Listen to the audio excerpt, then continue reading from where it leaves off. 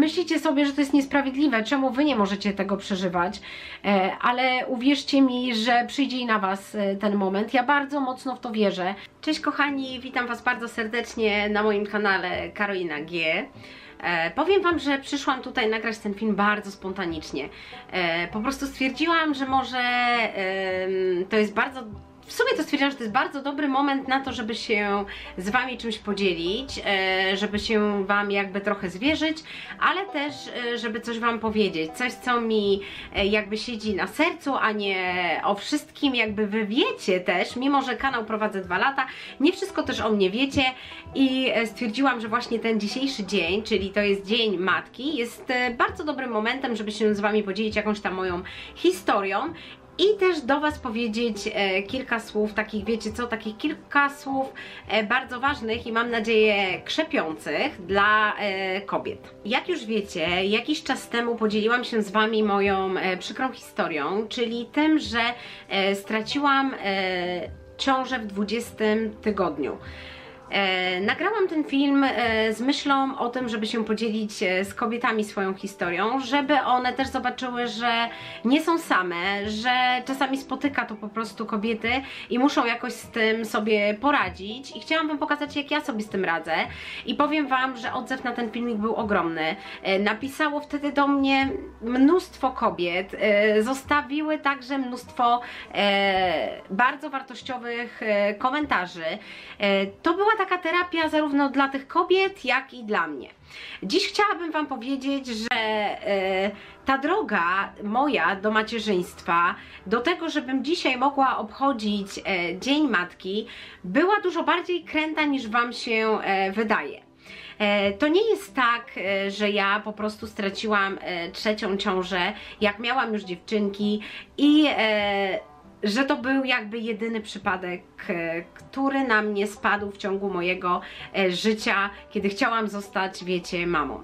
E, Bardzo dużo osób mi pisało po mojej stracie, że masz dzieci, masz dla kogo żyć i tak, oczywiście zgadzam się z tym, zgadzam się i to mnie bardzo budowało, pomagało mi, ale powiem Wam też szczerze, że zanim miałam dziewczynki, także spotkało mnie coś bardzo przykrego i także wtedy nie, mm, jakby to Wam powiedzieć, nie, e, nie można mi było właśnie powiedzieć słów typu masz jeszcze dzieci, masz dla kogo żyć, a jakoś musiałam sobie z tą sytuacją poradzić.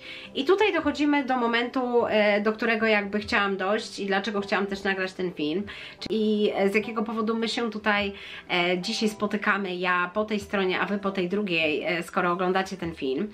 Bo chciałabym wam powiedzieć, że Droga do macierzyństwa e, czasami bywa bardzo kręta. E, kobiety marzą o tym, żeby mieć e, dzieci, a nie jest to takie łatwe. I e, chodzi o to, że czasami e, nie jest to jeden upadek, jedna strata, tylko czasami bywa to dużo bardziej skomplikowane i kobiety nieraz tracą e, kilka ciąż i jakoś muszą się z tego, wiecie, podnieść i iść dalej. E, No i właśnie tutaj wrócę do tego, że zanim zaszłam w ciążę z Matyldą, ja już jakąś tam swoją krętą drogę przeszłam.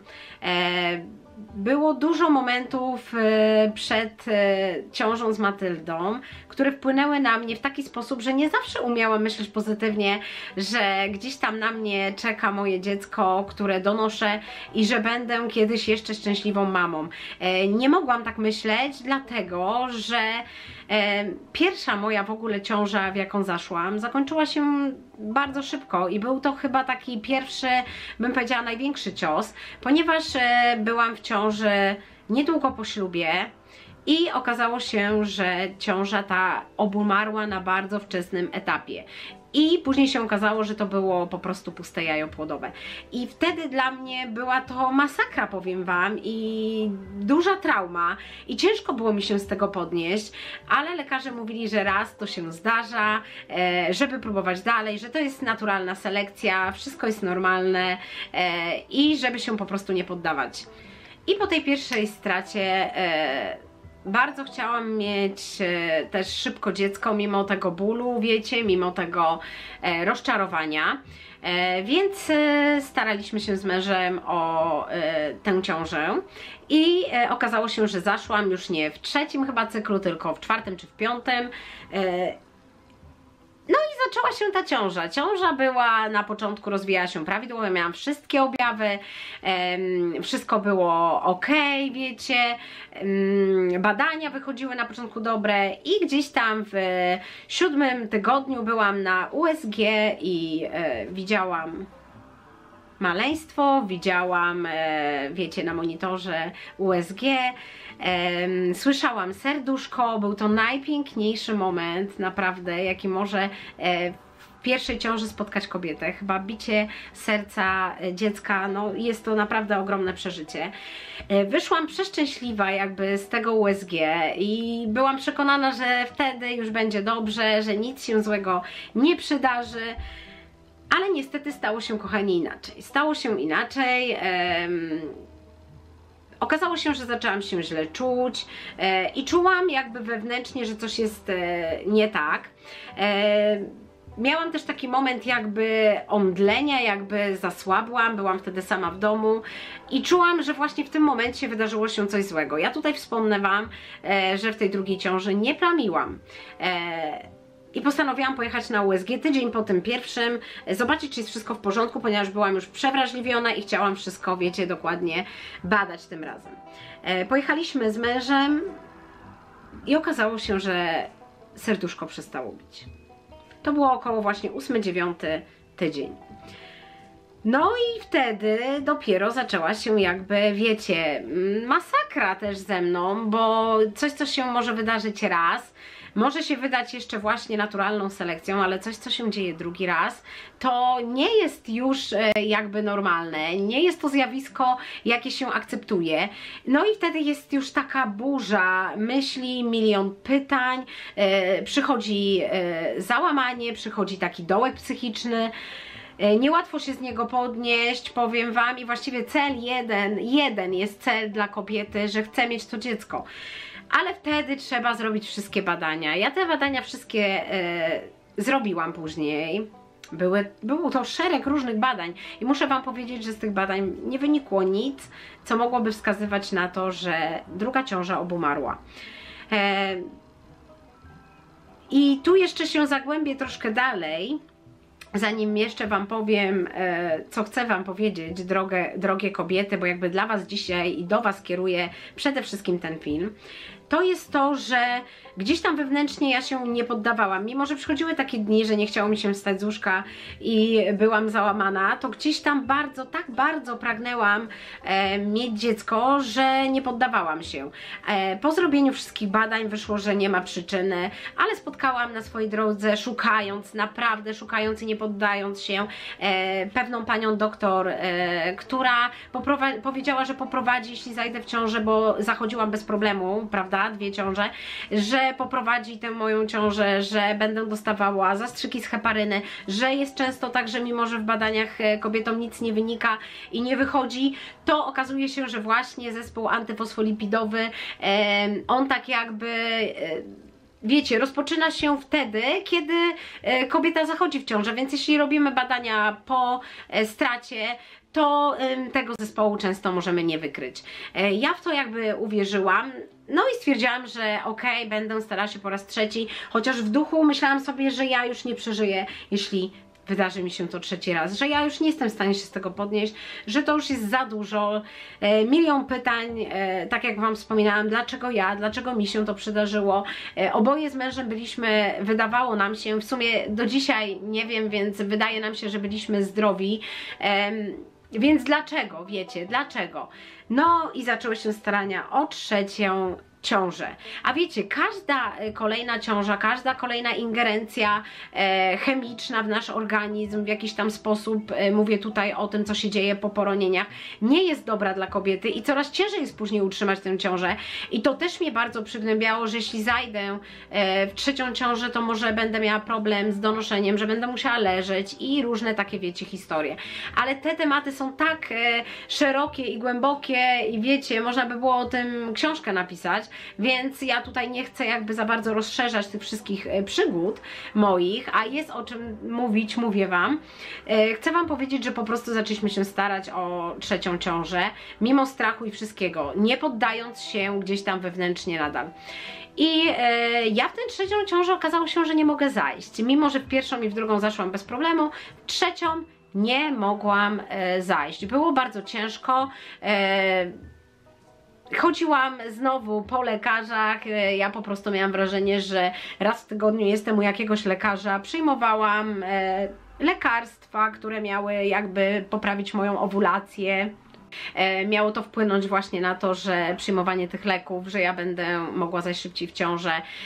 Mnóstwo badań, wiecie, USG i hormonów i tak dalej. Wszystko w normie, wszystko ok, a ciąży nie ma. E, no i tak zmieniając, wiecie, tych lekarzy po drodze, natrafiłam na lekarza, który powiedział, że może mam przypchane jajowody, ponieważ dwa razy poroniłam i dwa razy zakończyło się to wizytą w szpitalu i zabiegiem. I że czasem takie zabiegi e, wpływają na to, że jeśli organizm kobiety się nie oczyszcza samoistnie, wpływają na to, że potem te jajowody się blokują i nie można zajść w ciążę. No i stwierdziłam, że poddam się e, zabiegowi w szpitalu, który w ogóle był robiony bez narkozy i muszę Wam powiedzieć, że to była masakra. Chyba wolałabym urodzić drugi raz dziecko niż przejść przez ten zabieg. E, wycierpiałam się wtedy bardzo dużo. I lekarz powiedział, żeby od razu się e, starać o tę trzecią ciążę. No i zaczęliśmy się z mężem od razu starać. Okazało się, że zaszłam w pierwszym cyklu po tym zabiegu.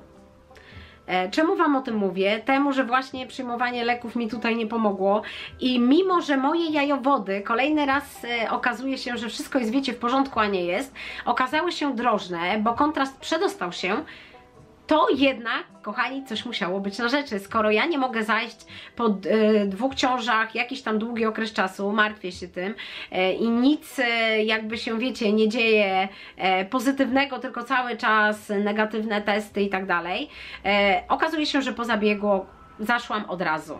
Zaszłam od razu w tę ciążę i wiecie, no milion rzeczy, strach, obawy, e, przerażenie, jak to dużo osób mówiło, nie byłam zrelaksowana w tej ciąży, e, cały czas się bałam, ale pomyślcie, czy wy byście się nie bały, czy wy byście nie przeżywały? Nie da się nie przeżywać i nie da się nie martwić. Jakby człowiek nie chciał i jakby się nie podnosił, wiecie, z tych dołków, to gdzieś tam jednak podnosisz się, spadasz, podnosisz, spadasz. E, ta droga jest bardzo trudna dla kobiety. Ale e, wtedy wróciłam do tej pani doktor, która powiedziała, że będę przyjmowała heparynę, i, e, czyli fraksiparynę, bo ja akurat przyjmowałam e, fraksiparynę w zastrzykach, że od początku będziemy tak, e, wiecie, działały do tego przyjmowanie na początku progesteronu i tak dalej, i tak dalej. E, I drogie, e, drodzy widzowie, drogie kobiety, donosiłam tę trzecią ciążę. Urodziła się Matylda. E, poród był wywoływany, Ciąża była trudna, nie czułam się najlepiej, ale udało się. Udało się w końcu, miałam swoje wymarzone dziecko. Zostałam mamą. I to po prostu było tak niesamowite, jak Maty się urodziłam, że całą noc nie mogłam zasnąć, tylko patrzyłam na nią, na ten mój mały cud, e, do którego wiecie, tak długo e, dążyłam, tę trudną ścieżką szłam. E, I się udało, że nie mogłam zasnąć i myślałam sobie, czy to się dzieje naprawdę, czy to jest jakiś sen, czy to jest naprawdę moje dziecko, czy czy naprawdę ona jest tutaj ze mną, czy to jest kolejny jakiś, wiecie, sens, którego się obudzę i jednak będzie coś negatywnego, ale nie. Ona tam była, ona była tam ze mną i e, udało się, udało się w końcu. Jak wiecie, e, następnie udało się jeszcze urodzić Lilusie, więc zostałam mamą po raz e, drugi. I to jest e, ogromne szczęście. I teraz dojdę do jakby sedna sprawy, czyli do tego, jak bardzo ja dzisiaj doceniam to, że jestem mamą i jak bardzo ja rozumiem te wszystkie kobiety, e, które nie mogą zaś w ciążę, albo te, które e, po prostu te ciąże tracą. Drogie, kochane kobiety, wiem, co czujecie. I chcę Wam powiedzieć, żebyście się nie poddawały.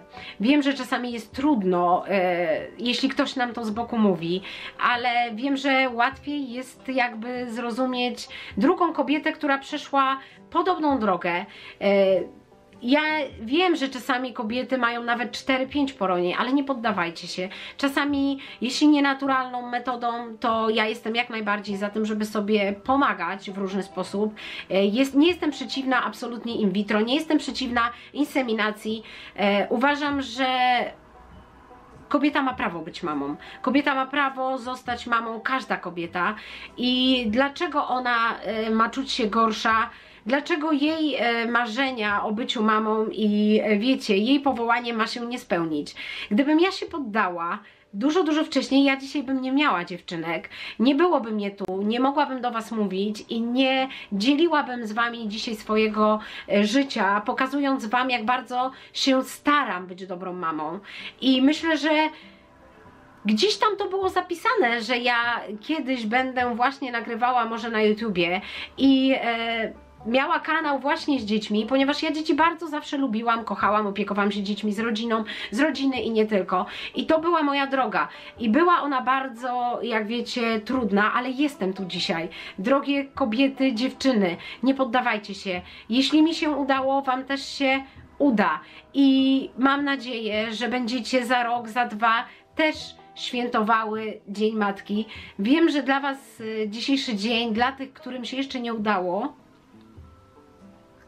bo ja też miałam kiedyś takie dni, e, musi być bardzo ciężkim dniem i Myślicie sobie, że to jest niesprawiedliwe, czemu wy nie możecie tego przeżywać, e, ale uwierzcie mi, że przyjdzie i na was e, ten moment. Ja bardzo mocno w to wierzę i wierzę, że jeśli chociaż połowa z was się nie podda, to będziecie szczęśliwymi mamami. Mówię tu to ku pokrzepieniu i też bardzo dziękuję wszystkim tym, którzy byli na mojej drodze i mi takie słowa gdzieś kiedyś powiedzie powiedzieli, powiedziały.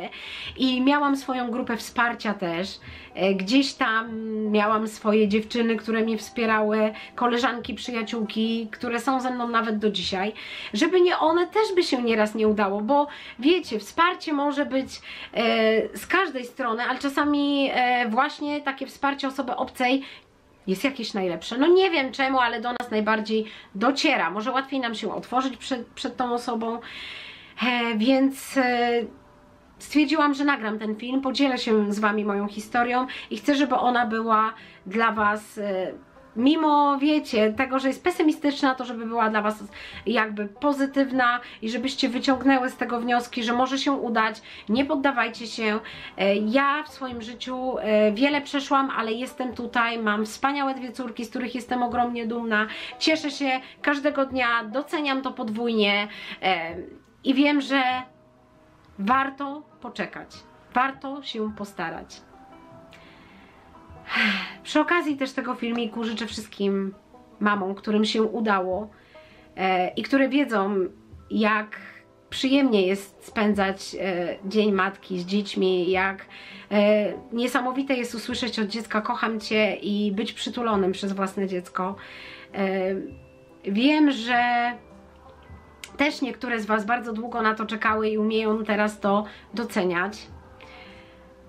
Ściskam Was mocno, wszystkie kobietki, e, trzymam za Was kciuki, tym, którym się jeszcze, tak jak mówiłam, nie udało, tym, które e, starają się o adopcję także, piszecie do mnie różne wiadomości. Jak widzicie, ta droga nie była tak prosta i nie było e, tej straty jednej, a było ich więcej. Chociaż nie ukrywam i będę z Wami szczera, że ta trzecia strata pomimo, że miałam już dziewczynki, była dla mnie najbardziej bolesna.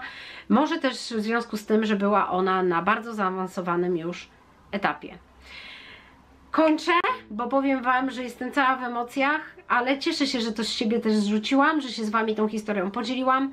Myślałam też kiedyś o otworzeniu takiego, wiecie, dodatkowego kanału, e, gdzie tylko poruszałabym ten temat i chciała się dzielić z kobietami, ale jeszcze jakby nie wiem, czy to jest dobry pomysł, e, nie czuję się do końca gotowa i jakby nie wiem, czy to jest dobry pomysł, wiecie, tak bardzo wnikać w swoje intymne e, sprawy. A dzisiaj otworzyłam przed Wami, jak wiecie, swoje serce, duszę i podzieliłam się z Wami chyba najbardziej intymną, ale też najbardziej bolesną, która ma też najbardziej pozytywne zakończenie historią. Trzymajcie się cieplutko i do usłyszenia w kolejnych filmach.